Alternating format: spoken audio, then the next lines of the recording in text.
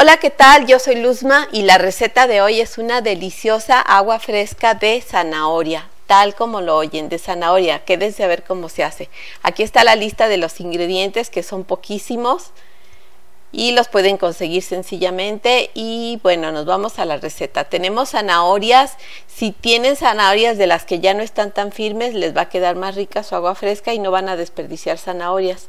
Lavamos pelamos y troceamos las zanahorias y vamos a endulzar el agua con leche condensada. Este es un tercio de lata de la leche condensada. Bueno vamos a poner las zanahorias con medio litro de agua en la licuadora y vamos a licuar por espacio de un minuto. Bueno, yo los licué por espacio de un minuto para que quedara muy molida la zanahoria. Enseguida hay que colarla. La fibra en esta ocasión no la vamos a usar para el agua, pero bien la pueden reservar y usarla en cualquier otra receta que tengan. Vamos a licuar esta primera molida que hicimos.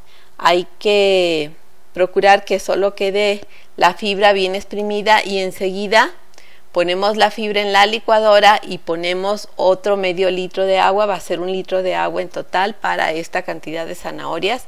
Volvemos a licuar y colamos nuevamente para sacarle todo el sabor a la zanahoria. O sea, la fibra ya no sabe tan dulce ni tan a zanahoria, pero si la quieren usar todavía les sirve. Bueno, una vez que exprimimos bien la fibra, nos vamos a la jarra donde vamos a preparar el agua y ahí ponemos la leche condensada. Primero, porque si la ponemos en la licuadora vamos a desperdiciar leche condensada al colarla. Se va a ir algo en la fibra y queremos aprovechar absolutamente todo. Una vez que tenemos la leche condensada en la jarra, vaciamos el agua de zanahoria. Qué lindo color tiene, ¿eh? y vamos a mezclar hasta que se disuelve por completo la leche condensada. El agua que usamos estaba eh, helada del refrigerador, pero de todas maneras para servir hay que poner por lo menos la mitad del vaso de cubitos de hielo porque sí queda bastante dulce. Entonces para diluir un poco lo dulce ponemos por lo menos la mitad del vaso de hielo y si no pues lo llenan completamente. Van a ver qué ricura. Esto me rindió para cinco vasos de agua fresca, con hielo desde luego, y todos la disfrutamos mucho en casa. Espero que la hagan, que me comenten qué les pareció y eh, pues la maravilla es que no tienen que ser zanahorias frescas, que pueden utilizar las zanahorias que se les van quedando y cero desperdicio, ¿va?